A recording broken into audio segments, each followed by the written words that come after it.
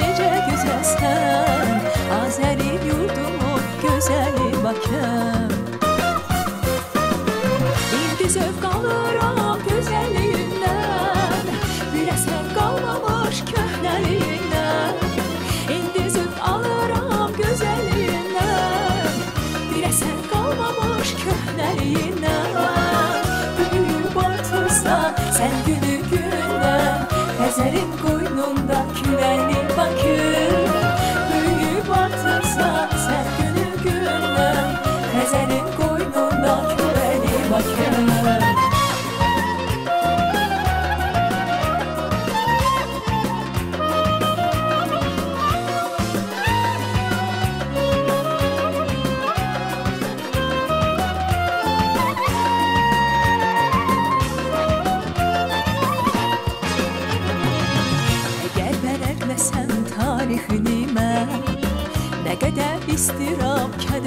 görmüsən Əgər vərəqləsən tarixini mən Nə qədər istirab, kədər görmüsən Azadlıq yolunda vuruşmusan sən Sinəsi yaralı, qüdrətli Bakım Azadlıq yolunda vuruşmusan sən Sinəsi yaralı,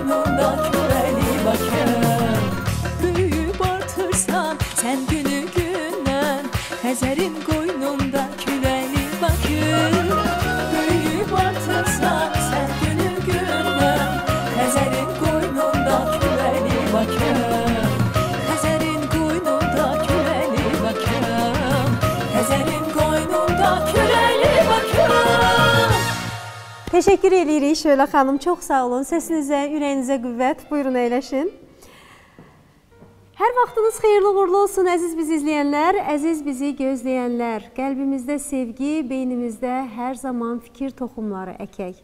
Xəzərin sahilində hər zaman öz sevgimizə, sizə olan ən gözəl düşüncələrimizə sığınaraq sizinlə görüşə gəldik. Və Xəzər də ağuşuna aldı bizi. Ümid eləyirik ki, aldı, deyilmi Əflatun müəllim? Bu gün Xəzərin Çoxdan sahilində alıb. Çoxdan alıb.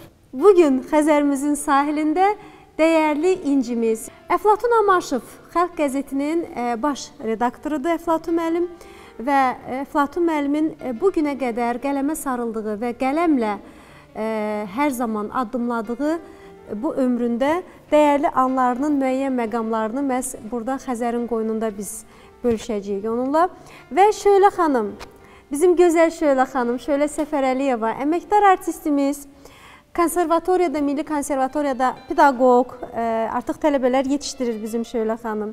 Və eyni zamanda Şöylə xanımın da həyat və fəaliyyəti Qaya ansamblına ə, yönəlikdir və nə gözəl. Hər ikinizi burada görmək bizə çox xoşdur. Təşəkkürlər, sağ olun. Və Əflatun müəllim, siz ə, Faxralıda bu dünyaya göz açmısınız. Bax, açmısınız və bu dünyaya salam demisiniz. Gəncliyinizin gəncliyə qədərki dövrünüzün müəyyən hissəsi dağlarda, meşələrdə, çağlayan ə, təbiətin qoynunda keçib. Adətən təbii nemətlərimizin bizim hərəsi bizə bir hiss verir. Dağa baxanda insan cuşa gəlir, insanda güc, qüdrət, yəni hissləri ehtiva olunur. O mühitdən bu mühitə insan müəyyən bir etaplardan gəlib də, bax belə bir mühitdə özünün ruhunu necə tənzimləyə bilir? Bayaq ə, Bakı mahnısını hörmətli müəllimimiz oxudu. Onda mən düşündüm öz-özümə, ə, insan necə rahatlıq tapa bilər? Bəli, mən indi də Farhali düşünəndə rahatlıq tapıram özüm üçün. Çünki mənim gəncliyim deyəndə mənim o ə, tələbə olan vaxta qədər ruhum ora ilə bağlıdır. İndi mən son zamanlar ə, bir trilogiya yazıram. Onun iki, iki kitabı hazırdır. Qanı Xasan, bir də Qaragöz və eyni zamanda Qoşa qarın adamlar və şeytanları. Bu bədidir. Bu mənim e, bədii və mənim oraları təsəvvür etdiyimi mən yazmışam. Məsələn, 7 yaşa qədər, 10 yaşa qədər nənəmin mənə söylədikləri, həmin dağlar, həmin qayalar, həmin e, yollar, izlər, həmin insanlar adamın ruhunun ayrılmaz hissəsinə çevrilir. Eyni zamanda bu mən mahnını dinləyəndə Bakı ilə bağlı müəyyən e, öz fikirlərimi bir daha ə, özüm üçün qənaət çıxardım və hər insan üçün müəyyən məqamlar olur ki, o vaxt əvəz olunmazdır. Tutaq ki, mən harasa uzaq səfərə gedirəm, gəlirəm, qapını döyürəm və qapı açılarkən mən öz həyat yoldaşım, oğlumu görəndə elə bilirəm ki, yenidən doğulmuşam. Mənim üçün, mənim nəzərimdə ən xoşbəxt anlar məhz məsəl o andır. Eyni zamanda uzaq səfərə gedirsən, gəlirsən Bakıya, təyyarə Bakının üzərində fırlanır. Baxırsan Bakıya, küçələr sənə tanış, Xəzər sənə tanış və havalandan Bakı tərəf yön alanda düşünürsən ki, mən xoşbəxtəm. Nə yaxşı bu şəhərin sakiniyəm. Bu həyat yalnız bizim gördüyümüzdən ibarət deyil. Məsələn, bizim həyatımızda bir evimizdə bir itimiz var o insandan bir 200 dəfə çox, hətta deyirlər 2000 dəfə çox duyğuludur. İnsan görür, duyur, hiss edir, eşidir, dinləyir. Və bunlardır. Çox azdır insanın duyğu hissələri. Ancaq ki, eyni var, görünməz dünya var, görünən dünya var. Bax bunları hələ ki elm bunları kəşf etmir. O qədər böyükdür ki, bu səma, gördüyümüz yer. Amma nə qəribədir hə. ki, görünməzliklərin fövqündə biz özümüzü tapırıq, nəinki görünənlərin. Eyni zamanda bunu mən bilirəm ki, insanın həyat təcrübəsidir. Burada bu məqamda rol oynayır. Bizim kənddə mən balaca idim o zamanlar. Biz danışırdıq ki, ay göydədir. Ay yer kürəsinin ətrafında fırlanır. Yer kürəsi günəşin ətrafında fırlanır. Bir kişi var idi qonşumuz Şamil adında. Biz ona Şəmil dayı deyirdik.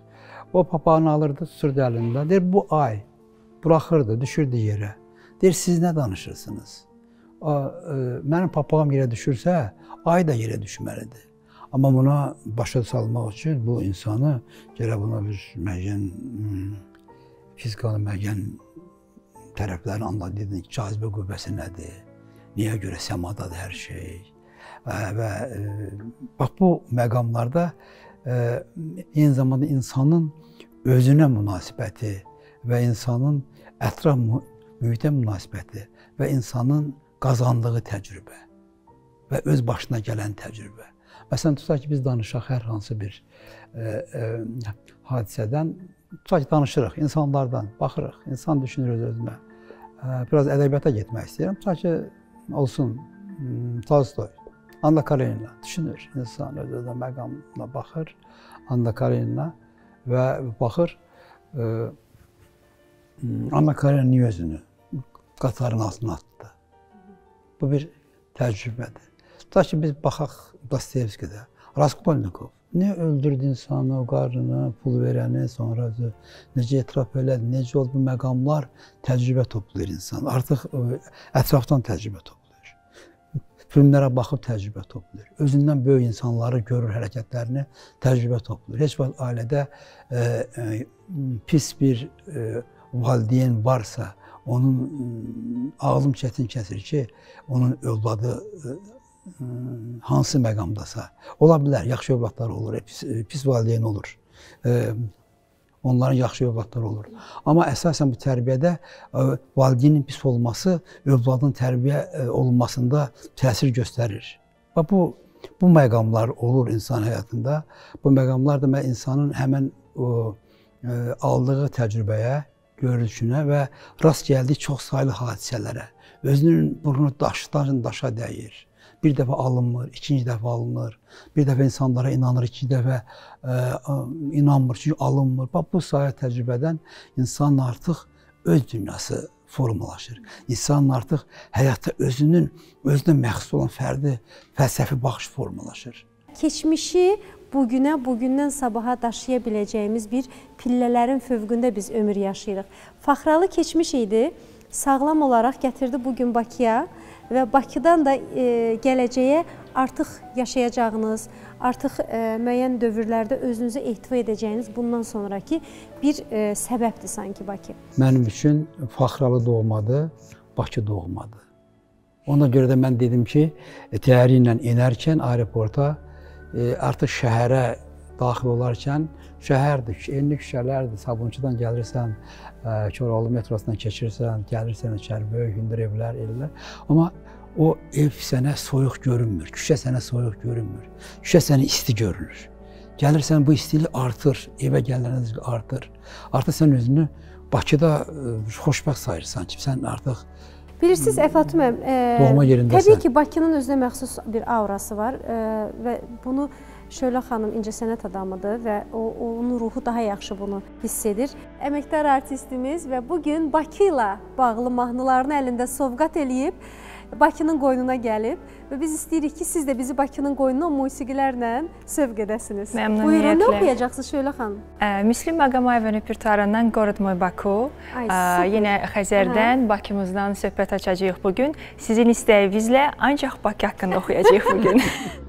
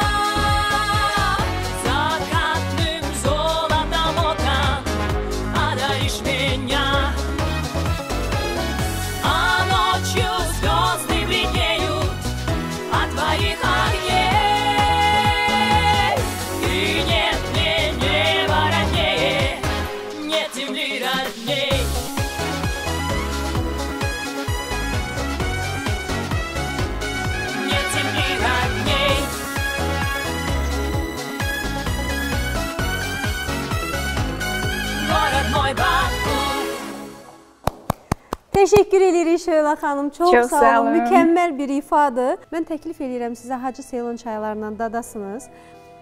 Xəzərin sahilindəyik, pürrəngi bir çayla e, verilişimizi davam etdiririk. Əziz tamaşaçılarımız Hacı Seylon çaylarının baş sponsorluğu ilə Xəzərin sahilində verilişi e, qısaca bir ara verir. Buradayıq, kanalı heç ara dəyişməyin.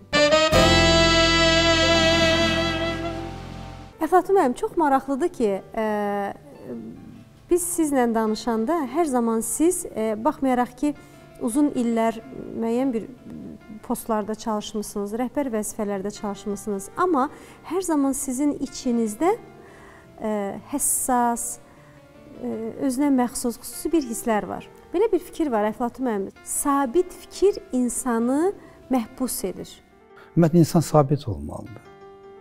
İnsan məsələn, e, mən onun tərəfdarıyam ki, insan hadisələrə obyektiv yanaşa-yanaşa özünün çılğınlığını göstərməsin, səbirli olsun. İnsan yaranana qədər yaşı var insanın, onu bilmirik, amma o məlumdur ki, bıçaqla qayçının kəşfi arasında 2000 il var ki, bıçaq kəşf olunub, sonra qayçı kəşf olunub. Gör insanın şuuru necə inkişaf edib 2000 ildə. E, iki bıçağı üst-üstə qoyasan, birləşdirəsən, bu olsun qayçı. O vaxt kompüterlər e, köhnə olurdu. Yaddaş da gərək yaddaşa verirdi. İndi kim deyildi. Və yazırdın 1 saat, 2 saat, 3 saat silinirdi. Baxırdım bəzi mənim iş yoldaşlarım var, kompüteri alırdı, istəyirdi pəncərədən açsın, neynəsin.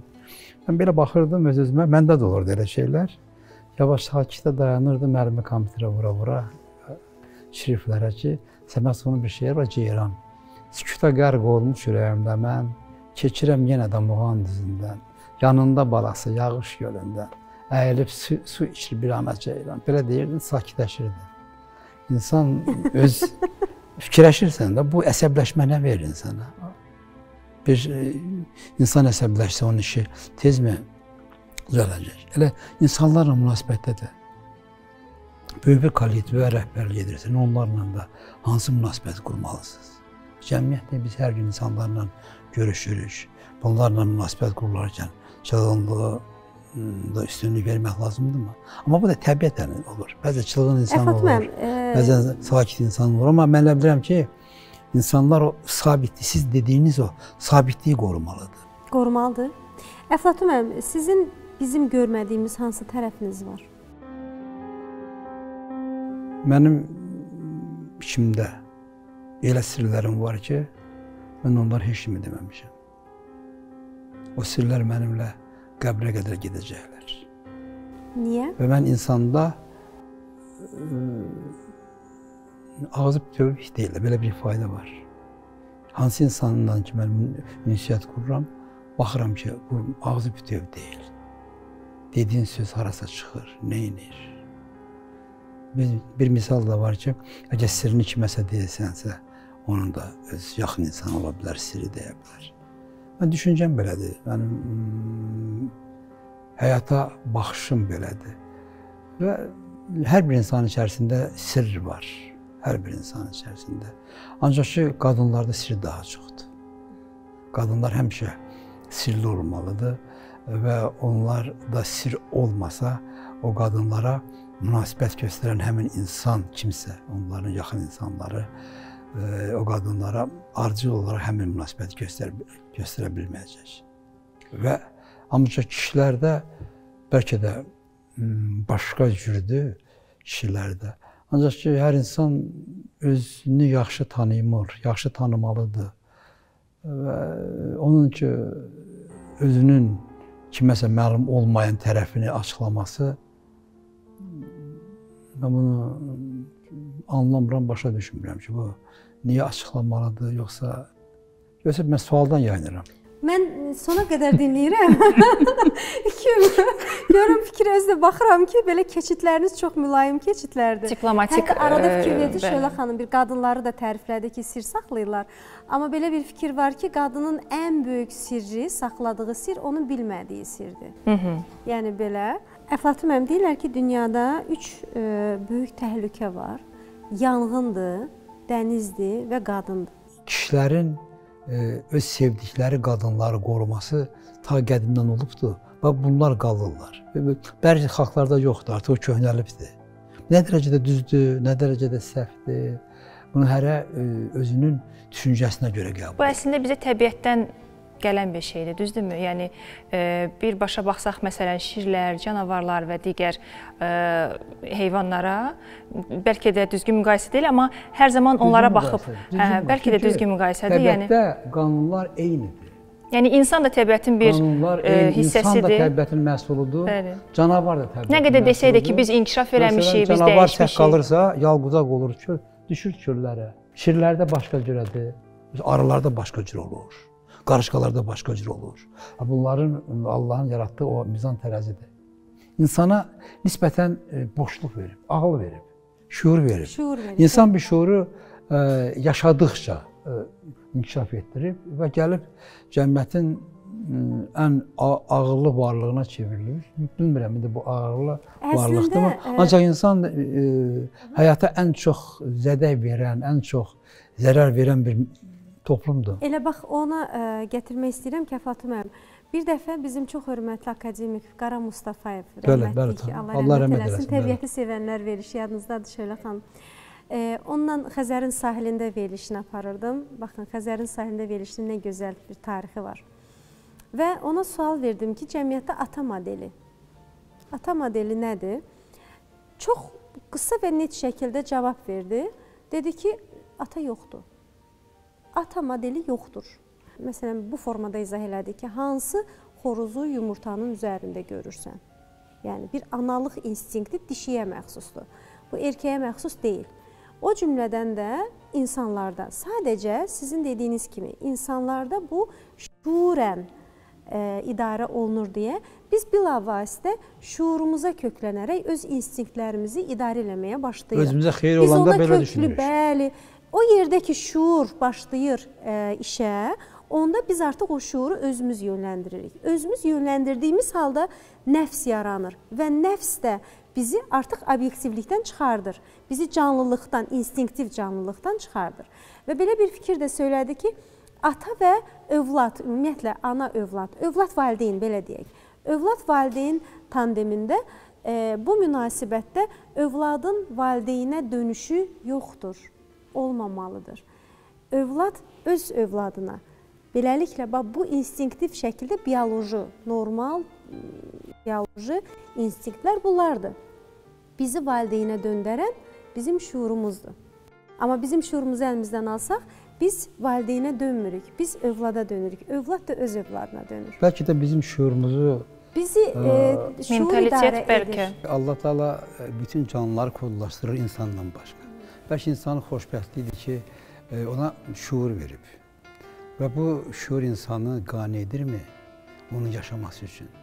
Məlum olur ki, xeyr qane etmir. Və insanların özləri müəyyən qaydalar yaratdılar. Amma e, bu e, şuur bizə həm də bir seçim verdi. Biz çox azad və sərbəst şəkildə heç bir mövqedən asılı olmayaraq dostluqlarımızı seçə bilirik. Və bu dostluqlarımızı həm də eyni zamanda elə bu şuurla da davam etdirə bilirik. Əflatun Amaşovun dostları çoxdurmu və o münasibəti uzun müddət saxlamağı necə bacarır? Yox, mənim dostlarım çox deyil.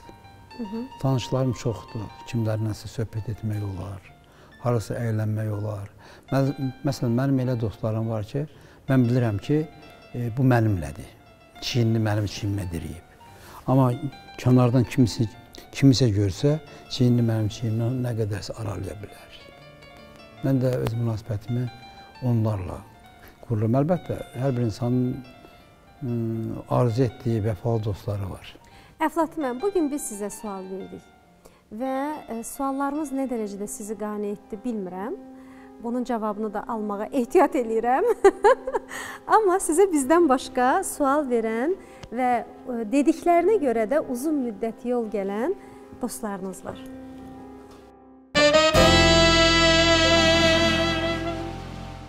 Mən Əflatun Əmaşovu lap çoxdan tanıyıram. Azərbaycanda mətbuat şurasını yaratmaq bizim taleyimizə düşdü. Biz Əflatun Əmaşovla şura yaranandan sonra bir yerdə işlədik. Mən Əflatun Əmaşov oldu mətbuat şurasının sədri, mən də oldum Əflatun Əmaşovun müavini. Əflatun Əmaşov Azərbaycan jurnalistikasını xeyli dərəcədə inkişaf etdirilməsinə nail olmuş adamlardan biridir. Mənim indi Əflatun Amaşova bir sualım var. Əflatun müəllim, deməli birinci kitabın adı Qanıq, Hasan, bir də Qaragöz. İkinci kitabın adı Qoşaqarın adamları və şeytanları. Bir-birinə yaxın məkan, bir-birinə yaxın obrazlar. Xeyli dərəcədə e, o biri kitabda olan obrazların burada inkişafı, məkanın burada inkişafı, insanların inkişafı, hadisələrin inkişafı, amma bir-birinə yaxın olan e, hadisələrdir bunlar. Nəyə görə ikinci kitabın adını ikinci kitaba başqa ad qoydunuz? Yəni Qoşaqarın adamları və şeytanları. Mənim sualım budur. Mən Cahangir müəllimə təşəkkürümü bildirirəm. Mənim hər iki kitabım haqqında yazı yazıb. Bu ümumi kitab üç hissədən ibarətdir. Həmin hissələrin adları müxtəlif olacaq. Amma kitabın özünün adı ümumi hissə bir yerdə çap olunacaq. Onun adı tamam başqa olacaq. O mənim üçün sürprizdir. Qoy elə Cahangir müəllim üçün də sürpriz olsun. Cahangir müəllim, cavabımızı aldıq. Daha bir sual verən dostunuz var. Hazırsınız? Baxaq Onu da görək. görməyə. Heç təsəvvür edirsiniz kim ola bilər? Yox, inanmıram. Heç düşünürsünüzmü təx təxminən kim sizə sual verə bilər? Cahangir müəllimi görəndən sonra mən baxdım ki, bir xeyli adam sual verə bilər. Çünki ki, Cahangir müəllim tapmısınız? Aha, kimin sualından e, ehtiyat edirsiniz ki, bax o adamın sualı məni e, bir xeyli düşünməyə vadar edər. Də bilmərəm o indiki məqamda. Aha, onda biz sizi çox intizarda saxlamayaq. Dostum, qardaşım Əflatun Amaşov, mən keçən əsrin 70-ci illərin sonunda tanıyıram. Əflatunla ilk tanışdığımız o, onun o, e, dəftərində Şəhriyarın Heydər Babaya salam poeması var idi. Mənim dəftərimdə Bəxtiyar Vahabzadənin Gülüstan poeması var idi. Biz bir-birimizdən o poemaları köçürtdük və bu poemaları köçürtdəndən sonra belə bizim dostluğumuz, tanışlığımız başladı. Yadımdadır onun dünyadan vaxtsız keçmiş bir dostumuzun uşağını himayəyə götürüb övladını onun təhsili ilə məşğul olması, yadımdadır neçə-neçə jurnalistlərin müəyyən mənada öz hə- həyatını deməli qurması, öz işini qurması, onlar hamısı Əflatun müəllimin əlindən gəlib keçib. Bunlar hamısı bir faktdır. Yadımdadır, mən Moskvada qaldım. Əflatun Azərbaycana getdi. Onda o mənə bir söz demişdi. Bir so dedi ki, sana bir sual vereceğim. Ne baksa. İndi mən o suala sualla cavab vermək istəyirəm. O nə sual idi? Həmişə məni həyəcanlandırıb ki, o sualın nə sual idi? Ancaq soruşmağa ehtiyat eləmişəm. İndi cəsarətə gəlib soruşuram. Əflatun müəllim, əzizim, o nə sual idi? Əliş, mən 79-cu ildən biz bir yerdə olmuşuq. Yenə də dostluq. Mənim həyatımda mənim tanıdığım ən təmiz insanlardan biridir, birincisidir. Və mən dost sözünü deyərkən onun adı həmişə başda olubdu. Həmişə başda olubdu. İndi yəqin ki, sualın cavabının yeri yoxdur. Biz Moskvanı qutarandan bitirdik. O Moskvada qaldı. Rahat idi Moskvada yaşamaq. Mən də qala bilərdim. İndi o Moskvada yaşayır, ə, ailəsi. Yəqin ki, artıq hər şey arxada qaldı. Mən sualı burada indi vermək artıq mənə elə gəlir ki, gecdir. Əflatun müəllim çox maraqlı bir məqamdır. Bax e, bayaqdan işarə edirlər ki, reklamların zamanıdır. E, Hacı Seylon çaylarından için.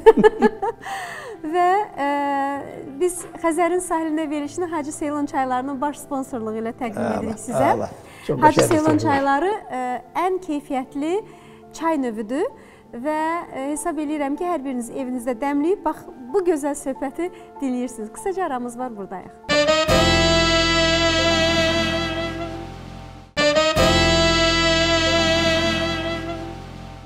Reklamlarımız bitdi. E, Hacı Seylon çaylarının baş sponsorluğu ilə Xəzərin sahilində veriliş öz axarı ilə davam etməkdədir.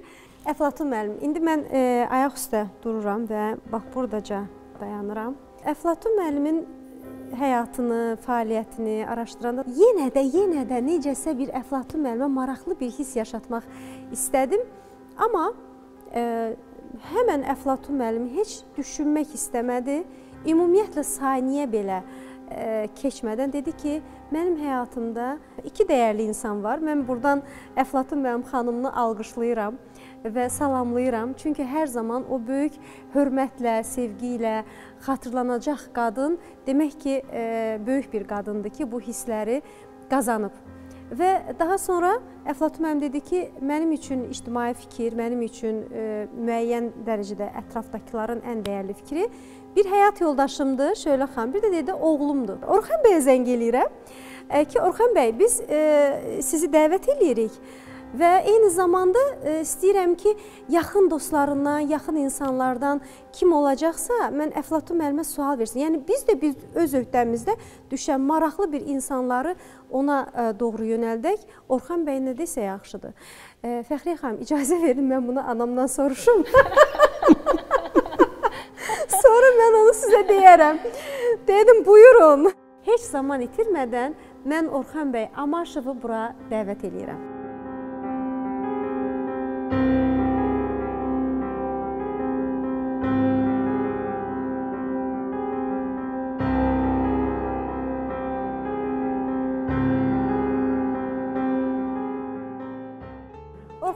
Biz sizi dəvət eləyirik, qarşılayırıq. Xoş gəlmisiniz. Çox sağ olun, minnətdaram.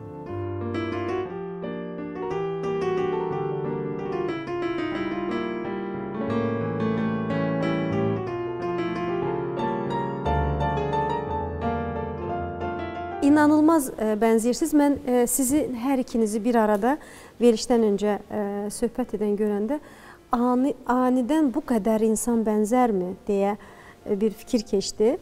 Mən əminəm ki, sizin xarici görünüşünüz deyil də, eyni zamanda sizin daxili görünüşünüz də bir-birinə çox yansıyıb. Sizin ə, bir-birinizi tam olaraq tamamlamağınız həm də bir bariz nümunədir ki, sizin iş dünyanız da bir-birinə çox bənzəyir. Bu Biz dostuq. -hı. Orxan uzun müddətdir ki, Londonda olur, Londonda yaşayır. İndi Azərbaycana gəlir, gedir və biz mütəmadi olaraq əlaqə saxlayırıq. Və bir dəfə ona mən sual verdim ki, kim kimi çox istəyir? Dedi, papa, sən məni çox istəyirsən. Dedim, necə ola bilər ki, mən səni çox istəyirəm, sən yox. Dedi, sən o qədər çox istəyirsən ki, mən sənin dalına çata bilmirəm. Mən uşaqlıqdan, yəni özümü tanıdığım məqamdan başlayaraq atamla ə, dost olmuşam. Təbii ki, ata müəyyən bir avtoritet, onlar hamısı öz yerində qalır. Amma bizim çox səmimi ünsiyyətimiz, münasibətimiz olubdu. Ə, Və atam mənə dünyanı anlamaq istiqamətində yol açıb. Mən xatırlayıram ki, ə, tutalım ki, xəstə olanda məktəbə getməyəndə bir neçə həftə dərslərdən geri qalırdım. Atam həmişə mənim dərslərimlə maraqlanırdı. Mənə yeni kitablar təklif edirdi oxumağa və anlayırdı ki, tamam mənim 7-8 yaşım var, mən bu kitabı özüm anlamaya bilərəm. Vaxt ayırırdı, o kitabı mənə izah edirdi, sonrası mən özüm oxumağa başlayırdım. Futbola bir yerdə azarkeşlik edirdik.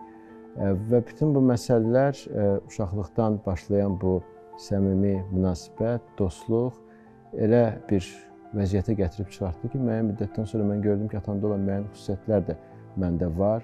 Çünki mən həm də atamın ictimai fəaliyyətini müşahidə edirdim, izləyirdim. Daim onun müsahibələrinə baxırdım. Onun işləri ilə çox ciddi şəkildə maraqlanırdım. Və bu mənə imkan verdi ki, atamı dərindən öyrənim. Onun xarakteri haqqında məndə dəqiq təsəvvür olsun. Və eyni zamanda müqayisəli təhlil aparım ki, məndə müəyyən xüsusiyyətlər atamla mı bağlıdır, yoxsa müstəqil şəkildə formalaşıbdır. Hesab edirəm ki, mən atamın bu mənada davamçısıyam, lakin fərqli formada olan davamçısıyam. Mənim də özünə məxsus xüsusiyyətlərim var. Orxan bəy, belə bir sizə platforma təqdim olunub. Bax belə bir müstəvidə sizin e, Əflatun müəllimə verə biləcəyiniz, heç ürəyinizdən keçən, düşündüyünüz belə bir sual varmı? Olubmu, varmı? Bəlkə onu burada verəsiniz. Atama vermək istədiyim bütün sualları, əsas fundamental sualları mən həmişə ə, vermişəm. Ünsiyyətimizdə bu məqamlar həmişə açılıb. Çünki atam mənə daim məsləhət verir. Lakin atam məsləhəti verəndə heç vaxt ə, mənim davranış formama təsir etmək məqsədilə bunu etmir. O istəyir ki, mən qərarı qəbul edəndə müstəqil və düzgün qərar qəbul edim. Və bu məni doqmatizmdən qoruyub uşaqlıqdan indiki mərhələyə qədər. Və mən həmişə həyatda müxtəlif çətin məqamlardan keçəndə öz-özümə Londonda olanda öz-özümə düşünürəm ki, bax bu məqam mən bu addımı atanda atam mənə hansı məsləhəti verə bilər? Ondan soruşmuram özüm. Və anlayıram ki, o mənə hansı məsləhəti həmin məqam üçün verə bilərdi. O mənə böyük ehtimalla deyərdi ki, zamanın nə qədər zamanı var onu nəzərə al. Çalış ki, erkən dəyərləndirmələrdən qaç və o zaman çərçivəsində qərarını qəbul et. Qərarını qəbul etdikdən sonra düşün ki, anla ki, bu qərar bəlkə də mükəmməl qərar deyildi, amma onun geri qayıdıb onu dəyişməyə cəhd etmə Sadəcə olaraq o qərardan sonra yaranan vəziyyətə uyğun addımlarını korrekt et və sonradan daha mükəmməl qərarlar qəbul et. Ona görə də sizin o dediyiniz sualı mən atama daim daxilində verirəm və daim də cavablar alıram. Biz sizə təşəkkür edirik. Cavab sizi qane elədi Əflatun müəllim. Bəzi məqamlar mən indi öyrəndim ki, Orxun müəllim onları necə qarşılayıb. Sən demə necə qarşılayıb. Mən sizin hər ikinizə uğurlar diləyirəm. Xoş gəlmişdiniz. Siz sağ olun. Və sizi burada görmək bizə xoşdur. Şölə xanım sizə də təşəkkür eləyirəm. Dəvət üçün Orxan bəy, hər zaman çox sağ olun. var olasınız. Çox sağ olun. Və bizim təşəkkürlərimiz var əlbəttə ki, ə, Hacı Seylon çaylarına ki, ə, mən istərdim ki, siz də evdə Hacı Seylon çaylarını dadasınız. Mütləq. Və bax bu ərmağan sizin üçündür. Təşəkkür eləyirəm. Çox sağ olun. Orxan bəy, bu sizə. Təşəkkür edirəm. Əflatun müəllim, bu da sizə. Mən Təş əminəm ki, siz e, bütün yazılarınızı bu çayı içərək Axşamdan başlayacağam. Şölə xanım, bu da sizə. Əmin olun ki, bu gözəl səs üçün ən gözəl bir vasitədir. Daha bir təşəkkürlərim var. E, bu gözəl məkanadır. Bu gözəl məkan yaxt klubdur. Dənizin tam da mərkəzində, bulvarımızın tam da e, mərkəzində və ən gözəl incimiz olan Xəzərin sahilində yerləşir. Və bu e, divan kresloları isə bizim ev mebel şəhərinə məxsusdur və əlbəttə ki, xanımın gözəlliyi hər zaman sual olunan bir e, səbəbdir e, Şöylə xanım. Rəyana xanım Ocaqovaya mən təşəkkür edirəm. Kosmetoloq xanımdır və müəyyən prosedur hər zaman onların onun məsləhəti sayəsində olur. Adətən biz xanımlardan bax bunu bu sualı edirlər, soruşurlar. Və əzlərimiz görüşmək ümidi ilə sağ olun, sevgi dolu anlar arzusu ilə. Sen ana Xəzərimin sahilində Şən Bakı şöhrətin var el dilində Sən ana Xəzərimin sahilində Şən Bakı şöhrətin var el